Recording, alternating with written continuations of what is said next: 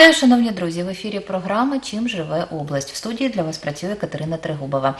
І я рада вітати наших гостей. Сьогодні в нашій студії Микола Арсентійович Поротніков, голова Миколаївської обласної організації ветеранів України, і заступник начальника управління, начальник відділу організації та надання соціальних послуг Департаменту соціального захисту населення облдержадміністрації Олена Борисівна Кірова. Вітаю вас, друзі, в нашій студії. Зустрічаємося ми 28 жовтня. Свято свято дуже важливе для нашої країни. Сьогодні день визволення України від фашистських загарбників.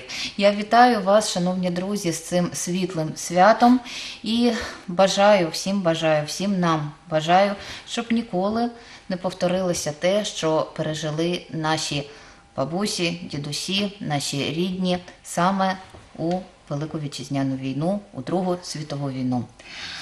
Я вас вітаю з цим святом. Я також бажаю вам і здоров'я, і щоб в ваших сім'ях, в наших сім'ях, в нашому місті все було мирно і ніколи ні ми, ні наші діти, ні наші рідні не пережили того, що пережили колись люди, які захищали країну від фашистів. Тепер продовжимо і Микола Арсентьевичу, хочу звернутися до вас. Расскажите, пожалуйста, чем живет сейчас организация ветеранов? Что делают те люди, которые отдали большую часть своей жизни для того, чтобы наша страна была мирной, была процветающей, жила так, как положено жить в нормальной, хорошей стране? Прекрасную весеннюю пору 1987 года, 14 марта, состоялась первая учредительная конференция ветеранов Украины. Это я немножко расскажу чуть предысторию образования нашей Николаевской организации ветеранов Украины. На этой конференции присутствовало 300 делегатов. Председатель оргкомитета доложил об обстановке в стране, в той еще Советского Союза, какие политические ошибки были во время нашего Советского Союза и говорил, что нужно ветеранам нашим объединиться для того, чтобы именно работать и выполнять нашими руководителями законы, которые предусмотрены нашей страной в то время Советский Союз.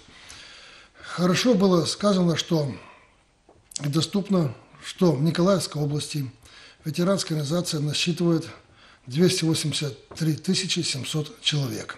Из них 52 тысячи человек работающие пенсионеры, которые еще полны сил, энергии и приносят пользу для нашей страны.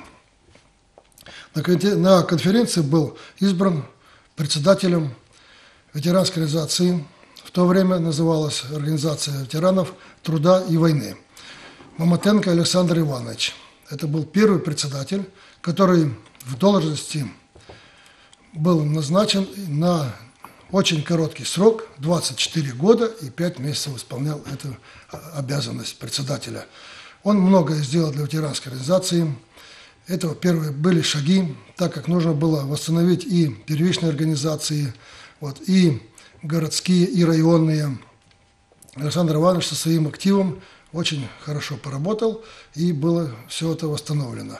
И хотелось бы еще сказать, что Александр Иванович на 95-м году получил почетное звание, вот, почетный председатель Николаевской областной организации. Потому что уже возраст, это 95, я как сказал, здоровье, конечно, начало немножко пошатнулось, и он написал заявление, что уже в будущем, как говорится, не может быть председателем работающим, настоящим, потому что он не хотел так числиться, а не работать.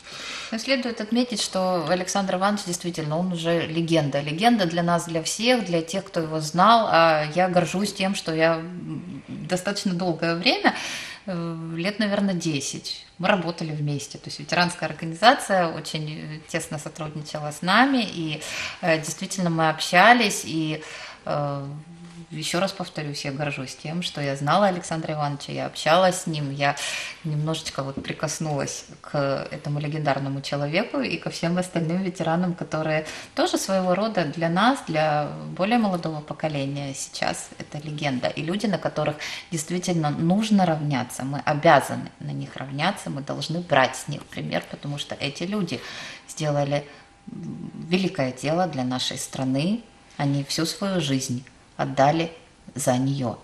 Э, Продолжаем дальше. Хотелось бы Александр еще Иванович, добавить да, Александра Ивановича, что его. 7 мая 2005 года указом президента Украины за номером 707-2015 было присвоено Александру Ивановичу Герой Украины с вручением Золотой звезды Героя. Конечно, он гордился этим, мы тоже ветераны гордились, потому что есть какая-то заслуга всех ветеранов нашей Николаевской области. Александр Иванович из того э, коллектива, который он сплотил, еще работает в, э, в силу своей возможности. Это казачок Василий Семенович, который тоже с первого дня и до последнего, э, как он работал, трудился с ним, которому тоже сейчас уже ни много ни мало, а 93 года с половиной. Пожелаем ему здоровья, активности и долголетия. Это наш генерал, настоящий генерал, который освобождал, входил в город Берлин, был командиром танкового батальона, который за свои заслуги имеет 10 боевых орденов. Это очень говорит многое о том, что он действительно заслуженный человек. Также из того состава первый еще остался Белый Виктор Александрович, который был председателем корабельного районной организации ветеранской. Сейчас вот его переизбрали, потому что тоже уже возраст у него. Избрали его почетным председателем корабельного района. И еще у нас есть из того состава Шарафанов Николай Григорьевич, это тоже все вы знаете его, это и журналист, это и писатель, и это активист. Вот таких, которые три человека, гида, которые действительно с первых дней и до сегодняшнего дня еще помогает нашей ветеранской организации, как может, их позволяет здоровье и все остальное. А, Давайте сейчас дадим слово Елене Борисовне, потому что вы человек, который непосредственно общается, ну буквально с каждым, так будем говорить откровенно, а, человеком, который нуждается в социальной помощи. Э, Ветераны люди активные, ветераны люди, которые, наверное, не всегда признаются в том, что им уже вот на в таком уважаемом возрасте нужна помощь. Э, Замечательно, когда есть дети, замечательно, когда есть э, родственники, замечательно, э, когда эти родственники понимают всю ответственность и всю полноту той любви, которую они получили когда-то, которую они получают сейчас, и которую, наверное, вот искренне и хорошо отдают людям, которые прожили жизнь, которые дали им жизнь. Э, Но, к сожалению, есть люди, у которых нет родных. И, наверное, вот эта категория, она наиболее нуждается в тех, э, кто в чужих людях, да, некровных родственниках, которые им помогут. Что делается со стороны нашего, с нашей социальной защиты именно для таких людей, в данном случае для ветеранов войны, ветеранов труда, детей войны?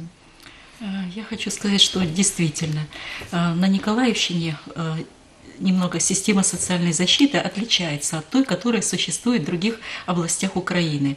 Во-первых, у нас на территории сельских советов, сельских советов действуют социальные работники или же представители сельских советов, э, специалисты из э, по социальной работе Центра социальной службы семьи, э, детей и молодежи, которые на местах, непосредственно на местах э, решают вопросы социальной защиты и поддержки отдельных категорий граждан, которые нуждаются в их защите, в том числе и вопросы социальной защиты.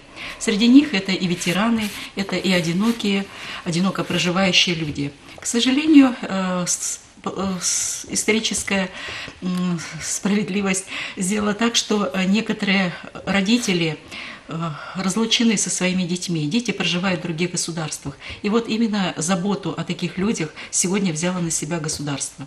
И э, хочу сказать, что у нас, кроме этих фахивцев, социальных э, работников, действует также э, с 2010 года в соответствии с постановлением Кабинета министров Украины номер 1417 территориальные центры социального обслуживания и оказания социальных услуг. Э, территориальные центры состоят из 128 отделений. Тех отделений, которые сегодня очень нужны нашим э, ветеранам, одиноким, одиноко проживающим людям и людям, у которых низкий прожиточный уровень жизни. Поэтому они обращаются в территориальные центры, именно в эти отделения, для того, чтобы получить в них помощь. Если говорить об одиноких, одиноко проживающих, очень важно для них это отделение помощи дома. Потому что сегодня у нас около 7 тысяч таких людей обслуживается социальными работниками. Они их называют еще своими дочками, потому что они действительно становятся для них родными людьми, которые приходят к ним и выполняют э, вместе с ними, помогают ими, им сохранить свое здоровье, сохранить те элементарные функции, которыми они владели на протяжении своей жизни. А, Или же, если те, которые уже не сами не могут справляться со своими нуждами, они э, значит, помогают им в организации их быта и в обслуживании. Хочу сказать, что на надомное обслуживание принимаются одинокие люди бесплатно, а одиноко проживающие, те, которые имеют детей, э, не пенсионеров, или же дети не являются инвалидами, они обслуживаются на платной основе. Сегодня э, около 700 710 человек обслуживается э, в этих отделениях на платной основе. Я хочу сказать, что для того, чтобы получить э, обслуживание, э, для этого необходимо желание этого человека получать эти услуги, а также заключение э, врача о том, что человек действительно нуждается в постоянной посторонней помощи, и для этого он будет получать те услуги, которые ему необходимы. Существует у нас введен э, государственный стандарт оказание послуги дома, услуги дома. И в соответствии с стандартом сегодня все отделения социальной допомоги в дома работают на территории не только Николаевщины, но и всей Украины. Э, А Кто может обратиться? Это должен непосредственно быть тот человек, который нуждается в помощи, обратиться в э, ближайшее отделение или же в э, управление социальной защиты населения. Либо же это может быть сосед, который знает о том, что э, помощь нужна такому человеку, дальний, близкий родственник. Как это выглядит, куда нужно обращаться? А, Я хочу сказать, что Министерством социальной политики предусмотрено проведение э, обследований условий проживания отдельных категорий граждан. И вот, э, значит, есть специальный указ, когда органы социальной защиты делают запросы и на местах проводится обследование именно этих категорий людей. То есть быть, это существует группы, да. определенный реестр, да. Да. То есть вы видите где-то вот в компьютерной программе, что вот столько-то людей в таком-то районе города или области э, сталкиваются вот с такими Нуждаются, проблемами, да, нуждаются Да, во время этих обследований, э, проведения подворных обходов, которых мы проводим вместе с организациями ветеранов, с организациями инвалидов, с депутатами, с работниками сельских рад, э, значит, определяется, нуждается человек в каких услугах, и затем э, составляется план мероприятий для того, чтобы помочь человеку их устранить. Иногда на местах сразу же оказывается ему необходимая услуга, или это консультирование, или ему предлагают, например, если надомное обслуживание, написать заявление, если он хочет, в э, управление социальной защиты э, того района, где он проживает, для того, чтобы получать эту услугу. Это первое. То есть обследование. Мы, Николаевская область, Управление социальной защиты, работаем на предупреждение таких случаев, э, на предупреждение каких-то звернень, заявлений людей. То есть мы во время этих обследований мы э, рассказываем законодательство, объясняем, что человек э, имеет, какое право имеет человек по законодательству получить от государства и что для него предусмотрено, в чем он нуждается и как это реализовать э, для того, чтобы э, он чувствовал себя хорошо и помочь ему в необходимую минуту. То есть это своевременность и адресность оказания помощи. Кроме Николай того, Арсентьевич, сейчас вы продолжите, да, я хотела бы к вам обратиться. Э, Елена Борисовна сказала, что вот такие подворные обходы, какие-то посещения людей, которые нуждаются в помощи, бывают и с участием э, э, членов ветеранской организации. Насколько вот с вашей стороны, насколько вы э, удовлетворены вот сотрудничеством с учреждениями социальной защиты, с соцработниками? Насколько это плодотворно и действительно помогает людям? Николаевская областная организация ветеранов тесно сотрудничает не только с департаментом социальной защиты Ну и с администрацией, с областным советом очень тесно, и поэтому мы понимаем друг друга и всегда решаем вопросы. Но больше всего, конечно, мы с Департаментом социальной защиты работаем. А от кого инициатива больше исходит? Вот от вас, Елена Борисовна, лично и от ваших сотрудников, либо от ветеранов, либо это обоюдное такое вот общение, ну, не, не скажем каждодневное, ну вот раз там несколько дело, дней, скажем да. так. Дело в том, что у нас эта работа, она не эпизодическая, она постоянная и налажена. Вот. Я хочу сказать, что у нас 24 районные э, организации э, ветеранов работают, и, значит, мы поддерживаем их деятельность не только э, финансово через программу Турбота, но также и э, проводим соответствующую работу, потому что, общаясь ветеран с ветераном по принципу равный равному, они лучше, лучше слушать друг друга. И ветеранская организация, она, э, значит, всегда в курсе тех событий, которые сегодня решает государство. Поэтому председатели ветеранских организаций, они не только помогают э, нам в проведении подворных обходов, но и в решении тех вопросов, которые есть. Они являются членами и э, коллегиальных органов, и наших коллегий, департамента, и районных управлений. Они входят в состав координационных советов, в частности, по выполнению программы Турбота. И поэтому мы э, стараемся вместе э, решать определенные вопросы. Конечно же, э, органы социальной защиты – это государственные органы, которые мы обязаны решать эти вопросы на местах. И уже вместе с общественностью, и тем более сейчас в рамках реформирования системы социальных услуг, все предусматривает взаимодействие именно с общественными организациями, неправительственными организациями, для того, чтобы улучшить качество, качество обслуживания отдельных категорий, в частности, ветеранов. Вот. Поэтому наши ветераны, они бывают и в наших э, частые гости, и в наших э, учреждениях социальной защиты, общаются с ветеранами, поэтому они знают проблемы, и мы вместе э, их решаем. А, вот как раз принцип равный равному, да, это волонтерский принцип, это то, что сейчас а, действительно является таким основополагающим для любой общественной организации. Как выглядит эта вот ветеранская организация? Потому что, ну, понятно, да, люди примерно одного возраста, примерно одного возраста, но все-таки у каждого есть свое мнение, э, у каждого есть свой характер, у каждого есть какие-то, может быть, принципы, которыми сложно поступиться.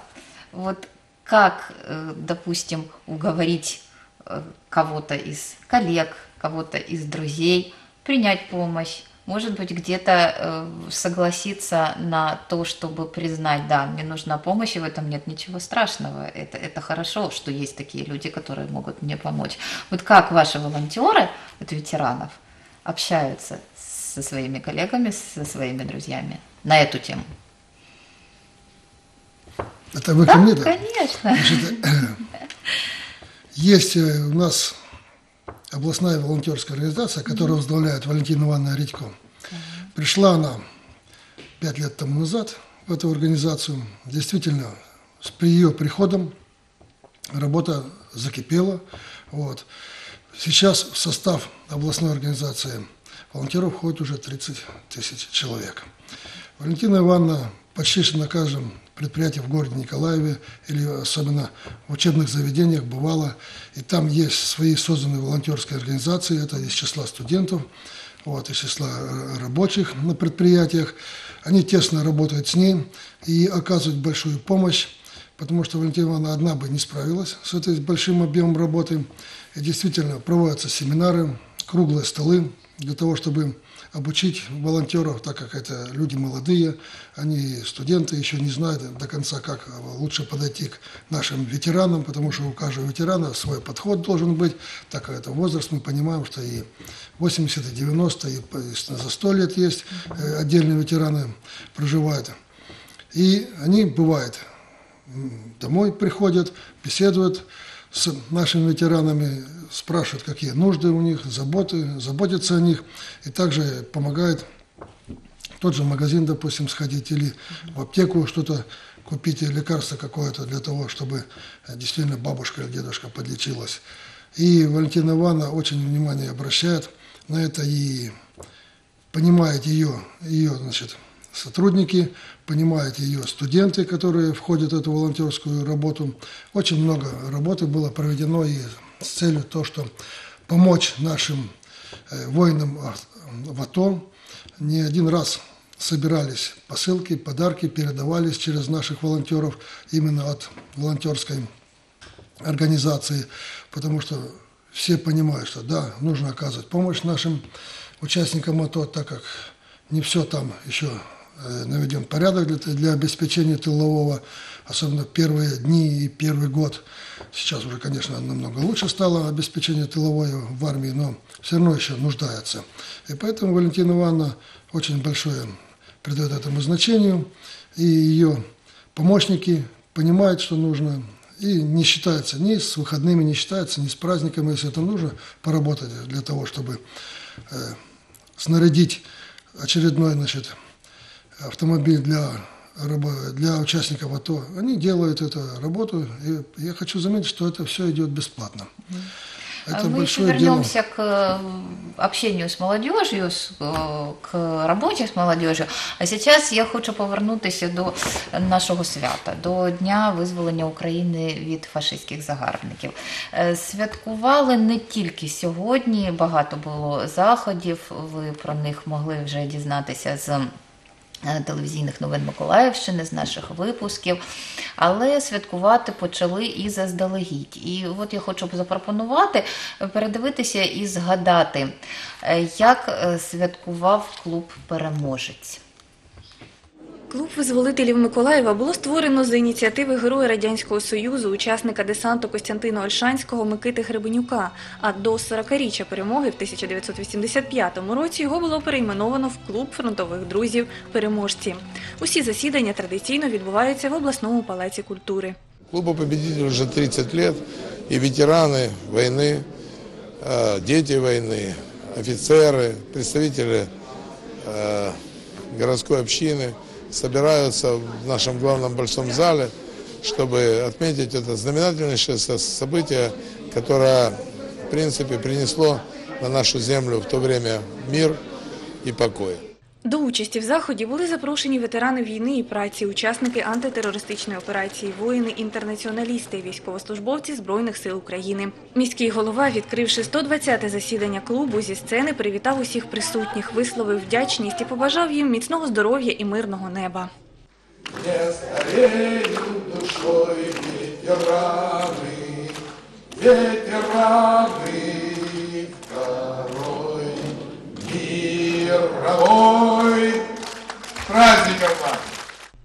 нагоди 71-ї річниці визволення України від нацистів Юрій Гранатуров вручив ветеранам, воїнам, інтернаціоналістам і військовослужбовцям почесні відзнаки і подячні листи Миколаївського міського голови. До привітань приєднались також народні депутати і представники обласної влади. Мне сегодня очень приятно быть сегодня вместе с вами и вместе с вами еще раз подтвердить, что мы ничего не забыли и никого не забыли. Мы работаем над социальной программой обеспечения воинов АТО, ветеранов Великой Отечественной войны, тем необходимым в первую очередь для того, чтобы обеспечить нормальное проживание Фронтовики зі сцени ділились своїми спогадами читали авторські вірші. Вони й досі не втрачають оптимізму і бойового духу і завжди прагнуть бути активними членами суспільства.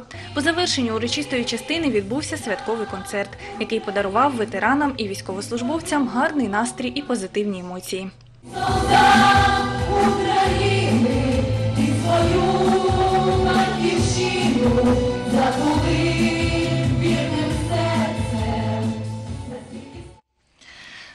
Дійсно, дуже хороші слова про те, що ніхто не забутий і ніщо не забуто. І ще один такий є дуже відомий вислів, але над яким ми повинні замислюватися кожного разу, коли його чуємо. Той, хто не пам'ятає своєї історії, свого. Е, Своєї історії той не має майбутнього. Той, хто не пам'ятає свого минулого, ніколи не матиме, не матиме свого майбутнього. Дійсно, давайте пам'ятати про те, що зробили ці люди для нас, і про те, що нацизм, фашизм це така річ, яка несе таку загрозу величезну для будь-якого народу, що про неї ніколи не потрібно забувати і боротися дійсно з таким явищем потрібно кожного дня, кожному з нас. Е, Продовжаємо далі.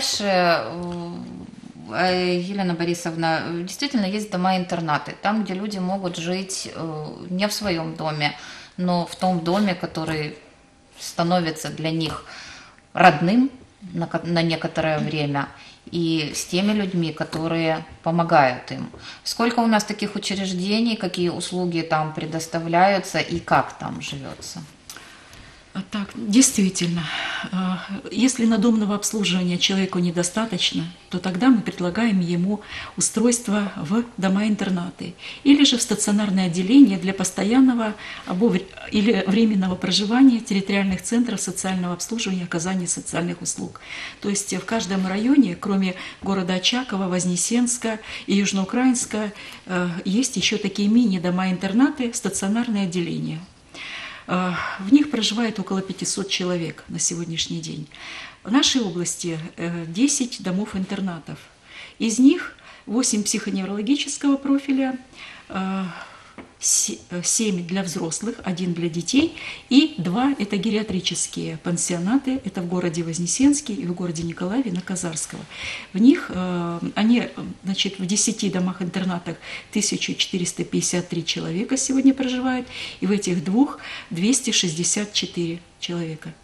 Это ветераны, это инвалиды, которые нашли свой осталь- э, последний, можно сказать, э, пристань или свой приют, последний приют именно в этих учреждениях. И поэтому здесь оказываются все необходимые услуги, в которых человек нуждается, особенно в пожилом возрасте.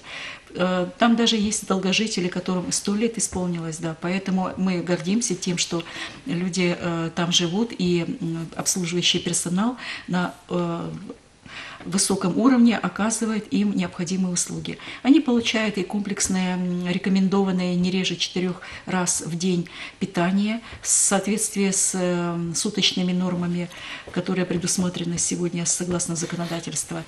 Э, В Вознесенском интернате там пятиразовое питание. Кроме того, они обеспечены бесплатным проживанием, обслуживанием, в том числе медицинским обслуживанием. Они обеспечены одеждой, э, в том числе и зимнего ассортимента. Вот сейчас осенне-зимний период, это очень важно. Э, Кроме того, мы уделяем внимание не только, что человек там может находиться, проживать, но и чтобы он не томился, и организовываем как-то их досуг. В том плане, что есть культ-организаторы, которые проводят планово свою работу. Для них устраиваются концерты э, с участием аматорских коллективов или домов культуры. К ним приходят волонтеры, и дети, и взрослые общаются с ними, э, дарят свои подарки, иногда книги приносят. Там есть библиотеки, э, проводится подписка на периодические издания. То есть человек когда пришел туда, чтобы он не чувствовал себя в отрыве от общества, а чувствовал э, наравне с другими и как, как дома. Э, Кроме того, проводятся такие игровые занятия. Они могут играть и в шашки, и в шахматы, э, и в дартс. Э, Кроме того, э, Министерство социальной политики организовывает даже соревнования между подопечными домов-интернатов. И хочу сказать, что наша Николаевская область, она тоже занимает призовые места, и наши подопечные с удовольствием принимают участие в таких соревнованиях. То есть люди живут полной жизнью. Да. И мы стараемся, чтобы они не чувствовали себя э, обиженными и э, получали тот необходимый комплекс услуг, который сегодня ему предусмотрен государством. Э, Николай Арсентьевич, э, ветеранская организация – это не замкнутое пространство. Это не организация, которая работает для себя, на себя и сама с собой, скажем так. Вы выходите, действительно, вы, каждый ветеран, каждый человек уважаемого возраста – это член общества и достаточно активный со своим мнением, со своими устремлениями, со своими желаниями.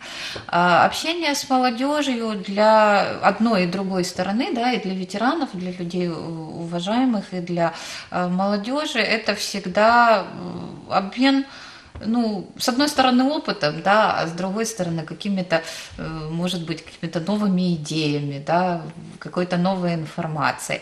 Как построено э, такое общение сейчас? Потому что раньше было популярно очень выходить в школы, да, вот в- мое время э, всегда мы встречались с ветеранами и на День освобождения, перед этим праздником, после него. И на Новый год, и, естественно, обязательно на День Победы 9 мая. Как это выглядит сейчас? Насколько инициатива общения от э, пожилых людей, от ветеранов, э, есть такое желание, да, выходить общаться с молодежью, и насколько у нынешней молодежи сохраняется желание слушать и слышать таких людей? Я хотел бы еще добавить ко всему этому, что в состав нашей областной организации входят 24 района и 3 городских организации, которые включают э, в себя 649 первичных организаций и насчитывают 242 тысячи 473 человека. Ну, это большой коллектив. Да, очень. вот из них, допустим, взять э, из них э, участников боевых действий, к сожалению, на сегодняшний день осталось 901 человек. Ветеранов войны 35 тысяч 534 человека. Участников боевых действий, я вот почему это говорю, да, потому да, что... да, вот- я, понимаю, вот, да, да, что мало уже людей, да. которые помнят то время. и могут о нем рассказать. 5947 человек, но с, э, в связи с ветеранами АТО сейчас насчитывается участников боевых действий 8559 человек. Детей войны 103 265. И вот э, этот коллектив, который я сейчас назвал, конечно, очень озабочен тем, что как правильно построить свои встречи с, с учебными заведениями, со школами средними, ПТУ, для того, чтобы именно рассказать нашим молодежи о том, о той правде истории Великой Отечественной, потому что многие есть э, наши писатели в кавычках, которые защищают кандидатские, там, докторские и начинают менять историю. Историю изменить нельзя, потому что еще есть у нас живые самые на- настоящие участники боевых действий Великой они знают, как это было, происходило, где были ошибки, где значит, э, неправильно доводили до задачу до боевых действий, и поэтому мы всегда проводим это занятие с энтузиазмом, идут наши ветераны рассказать нашим детям, действительно воспитывать их в том духе, как э, настоящие ветераны нашей э, страны Украины. А насколько дети воспринимают? Дети, молодые люди воспринимают то, что им говорят. Вот не- насколько они проявляют интерес вот к истории? Вот недавно обратился ко мне, значит, э, с облдержадминистрации э, для того, чтобы найти ветерана, который действительно был участником боевых действий, и провести встречу накануне именно вот 20, э, 28 октября э, в школе-интернат, который находится на Бознике.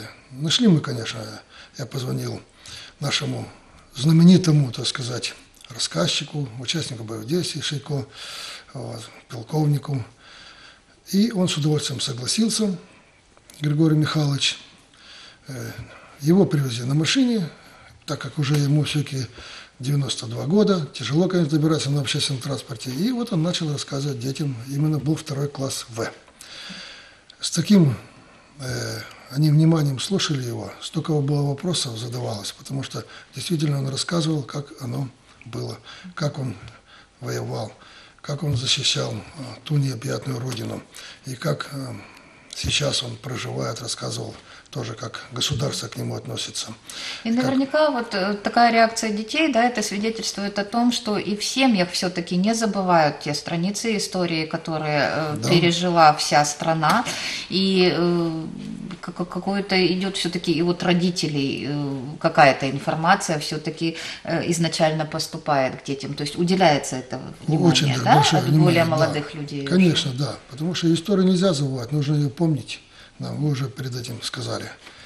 Вот. Поэтому это вот я один пример, пример привел, а их много примеров, потому что особенно перед такими праздниками, как День Победы, вот, День защитника Украины, сейчас у нас по-новому уже 14 отмечается, числа, 14 да, октября тоже было, тоже приглашали. И особенно хочется сказать, что в сельские местности, потому что Э, Там как-то они более сплоченно живут в сельской местности, больше относятся душой и телом, как говорится, к ветеранам. И еще хотел отметить Да, то, потому что... что знают каждого, Да, там же все живут же, да. Еще хотелось то, что в нашей ветеранской организации из 27 12 председателей ветеранской организации женщины. Это вроде бы как мужское дело, ветеранская организация, да, но, вот, понимаете, народ избрал, коллектив избрал, и они работают прекрасно. И даже вот новый у нас председатель в ка- этом Вознесенском районе, Захарова Раиса Ивановна, она сразу вникла в все эти трудности работы, вникла как запросы наших ветеранов, и идет, вот я был на отчетно-выборном, она до этого полгода работала, потому что был у нас там прекрасный председатель, но светлая память о нем будет, ушел из жизни, вот, Матамбачук. И она сразу приступила, потому что она понимает жизнь ветеранов, хоть она еще, говорится, молодая по сравнению с нашими ветеранами, кому 90 и более. И ветераны прекрасно относятся к ней, и, конечно, душа лежит у ней и у ветеранов.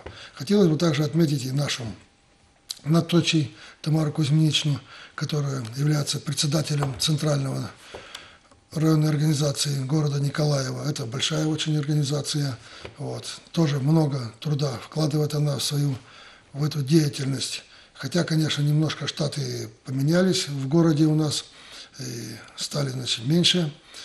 Ну, я понимаю, здесь и экономическое, и политическое так, значение все имеет, но все равно наши председатели трудятся. Это и Паначенюк, председатель ветеранской организации города Первомайска, тоже немалая организация считается. Лиференко, председатель ветеранской организации, которая больше уже 15 лет работает. Раиса Яковлевна. Баштанская, э, председатель ветеранской организации Андреева Лидия Васильевна. Осачук, председатель ветеранской Доманевского района. Вот. Тоже работала она и в партийных органах, и вот пришла в ветеранскую организацию, душой болеет. И недавно у нее был на праздновании ее, это день рождения был, и исполнилось, не будем говорить, сколько лет женщине. Вот она полна энергии, сил, и работает, и трудится. И вот через день отчетно-выборная конференция в этом районе. Я разговаривал с главой администрации, с заместителем главы администрации. Все только, кандидат только Не она видят, одна, да, не видят работы Да, без только этого она, человека. да. Э, Спасибо вам большое. У нас остается буквально полторы минуты, и все-таки я хочу услышать от каждого поздравления с этим прекрасным праздником, с этим вечным праздником, потому что это наш общий праздник. Пожалуйста, есть возможность обратиться к телезрителям. Ну, что мы уступаем Э, Да, Елена женщинам. Борисовна, Я пожалуйста. хочу немножко продолжить выступление сейчас Николая Арсеньевича и действительно сказать, что когда наши ветераны приходят с патриотическим воспитанием в наши школы, дети, это все сегодня слышится по-другому. Вот поэтому, э, к сожалению, э, ветеранов становится все меньше и меньше. Накануне этого праздника 909 человек получили э, одноразовую грошовую допомогу от э, с областного бюджета по 1000 гривен для того, чтобы э, как-то поддержать ветеранов. Это очень существенно. И хотела бы сказать, что сегодня ветераны, их, их становится все меньше и меньше. Поэтому им очень нужна наша поддержка, наше внимание и э, внимание каждый день. И поэтому я хочу пожелать им терпения, крепкого здоровья, поддержки и э, внимания окружающих, а также детей, внуков, достатка в их семье. Спасибо большое. 30 секунд, Николай Арсеньевич. Очень хотелось бы многое сказать еще и по медицине, как оказывается. Но видите, к Следующей сожалению, да. программе, да. Конечно, мне хотелось бы выразить благодарность всем членам президиума, вот, членам областного совета, всем ветеранам, которые значит, действительно по мере своей возможности принимают сегодня участие в этом ветеранском движении. Не могу и значит, не выразить признательность средствам массовой информации. Вот сегодня мы присутствуем в этом прекрасном зале, да, радио, телевидение, которые постоянно освещают работу нашей ветеранской организации. Выражаю уверенность, что действительно ветеранская организация тесном сотрудничестве с органами власти на местах будут выполнять все основные задачи, которые поставлены по со- социальной защите ветеранов. Ну а всем ветеранам доброго здоровья, мира, самое главное, здоровья и еще раз семьям ихним, и чтобы было у нас в стране прекрасно, как мы хотели бы, чтобы жить действительно в Европе и процветать. Спасибо вам большое. Спасибо за то, что были в нашей студии сегодня. Приходите к нам еще. Я еще раз поздравляю нас всіх з праздником, вас з праздником, щастя, здоров'я, довголіття. Шановні друзі, я ще раз хочу привітати з цим святом, з цим світлим святом всіх нас, всю нашу громаду. Нехай на всій землі, в нашому місті, в нашій Україні все ж таки нарешті запанує мир. Мир в наших душах, мир в наших сім'ях, мир в наших містах і селах. Я прощаюся з вами до наступної зустрічі на телеканалі Миколаїв.